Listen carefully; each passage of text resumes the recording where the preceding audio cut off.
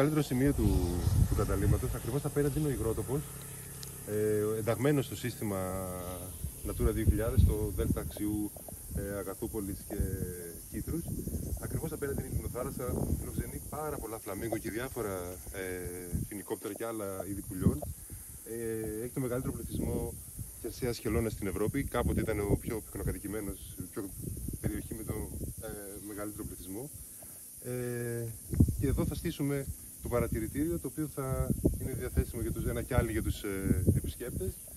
Και μπορεί να θαυμάσει πραγματικά αυτά τα, όλο τον χρόνο τα, τα, τα φλαμίγκο, τα πουλιά αυτά τα οποία βρίσκουν εδώ ε, το αγαπημένο τους έδεσμα. Είναι μια, μια γαριδούλα η αρτέμια η οποία μπορεί να ε, ζει σε πολύ υψηλή περιεκτικότητα σε αλάτι σε, στα νερά.